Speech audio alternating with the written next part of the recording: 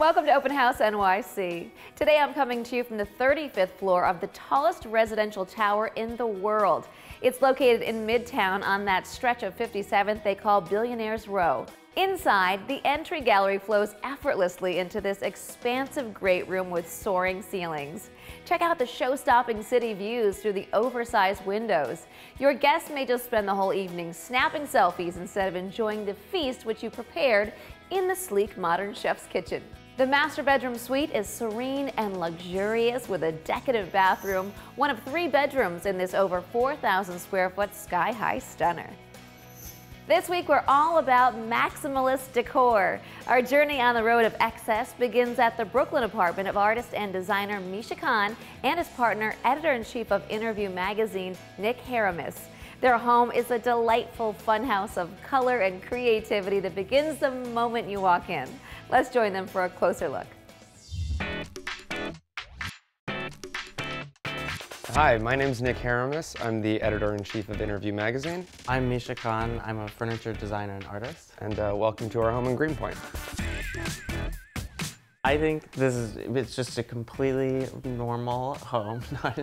it's funny because I'm colorblind, and so Misha, I feel like, is often playing tricks on me by telling me how subtle and, and quiet each room is. Our building is just sort of the most unassuming building in Brooklyn. And quite recently, all of the lights seem to have blown. So it's just like a stairway to hell. Yeah, I think it makes it extra fun to come in here. You don't expect to open your door to this. Every time we would sort of think a room was done, Misha would complain that it was a little bit too minimalist. So now our joke is that if your eyes aren't bleeding, we haven't done the right job. It's like a wide sort of railroad style apartment. Um, and so I wanted to kind of break up the rooms. Oh, there is logic to it. So the living room's kind of like these very earthy jungle vibe. And then the closet's sort of this green, fallow, lightly Japonais discotheque.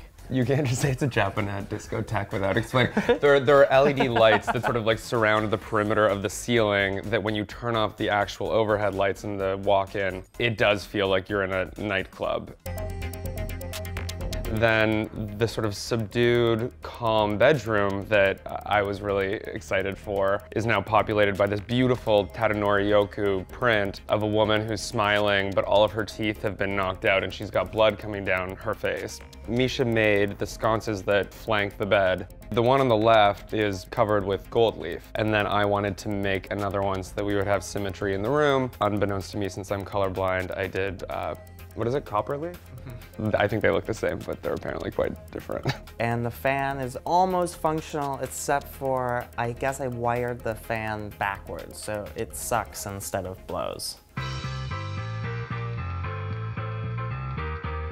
I think the first thing that we got was the Campana Brothers fish scale cabinet, followed by this couch that we're sitting on, which is also the Campana Brothers, which clearly feels like some sort of monster animal. But they're things of art, and so I've fallen asleep on this couch more times than Misha was happy with, and have like matted this woolly mammoth. I, before before you guys arrived, we were combing it to make it seem a little bit less matted. This is the couch that I brought into the house, and Nick brought the uh, leather uh, rectilinear IKEA couch. Like it's the last bastion of minimalism in this otherwise jungle book. Because Misha hates the couch so much, we've now propped it up with a fortress of very loud printed pillows. And then our, the newest baby that we brought home is the Studio Yobe. And when it arrived, it's like a high-tech surveillance camera that we haven't set up. So right now it's just a totally ornamental, beautiful thing, but we can spy on people. The mirror is from a series. I sew the form, so it's kind of a silhouette made into a balloon. And then there's resin poured in with air and it's kind of blasted and tumbled so it gets this hard shell that looks really soft and squishy but is actually solid. And they're called Saturday Morning because they're very cartoonish.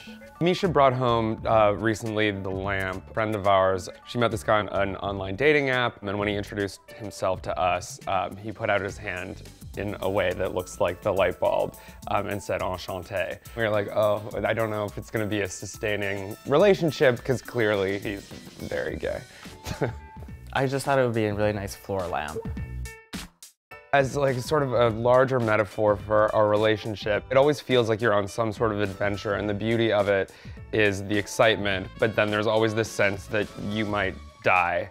Um, this table, which Misha made as a present for me, which is inspired by the Yves Klein table, does feel like a walking time bomb because if it shatters, the blue pigment will just destroy our lives. We've struck a balance between stuff is really visually eccentric, and I think it's still really cozy in here and easy to live with everything. Um, no? yeah.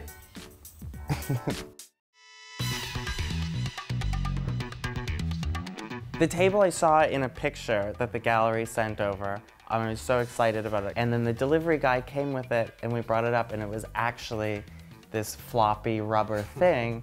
And I was so surprised, so I, I called my gallery back to ask about it and um, he just was like, well, Misha, of course. It was from the series about the instability of the European Union.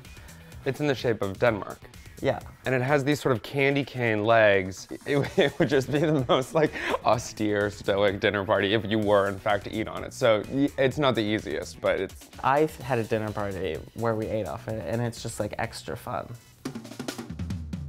The kitchen, when we moved in, was probably just like the most basic kitchen you can imagine. So now it's kind of this like explosion of color, which is a great way to wake up in the morning. It's the most jarring alarm clock in the world. And it was funny because we started by doing the cabinets, and then that wasn't quite enough. Misha kept being quite worried that it was gonna seem a little too minimalist. So this, then we did the floors with the tiles. Then all of a sudden the fridge was covered. Then there were really loud printed curtains that were added. It's now just its own weird rainbow. The sheep, we got at a little like roadside place and then we put the fur on the outside ourselves. I hope you had a fun time coming over and maybe you got some insane ideas for your own place. And we're so sorry.